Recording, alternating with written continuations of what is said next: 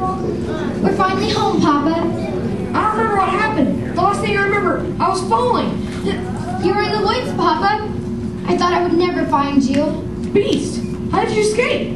I didn't escape. He let me go. He let you go? That terrible beast? He's not terrible. In the beginning, I was so scared. I didn't know what was happening. But somehow, things changed. Good afternoon. Monsieur D'Arque. I've come to collect your father. What?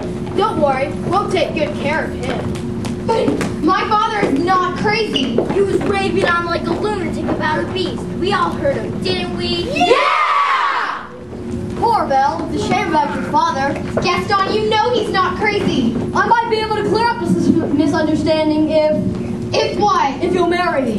What? One little word, Belle. That's all it takes. Never. Have it your way. Take the old man. Wait, no. Let go of me! Bill! I can prove my father's not crazy. Show me the beast. That's him! That's him! Is he dangerous? Oh no, I know he looks frightful, but he's really kind, sweet, and gentle. He's my friend.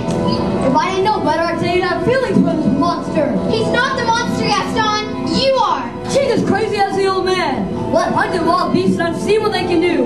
Well, make up with your children. You'll come after them in the night. He would never do that.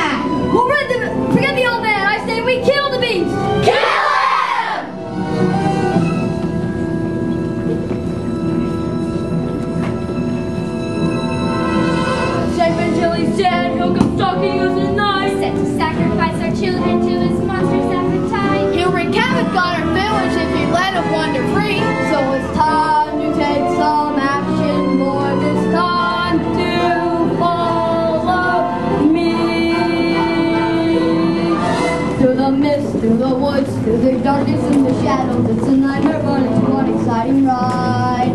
Say a prayer, then we're there at the drawbridge of a castle, and there's something truly terrible inside.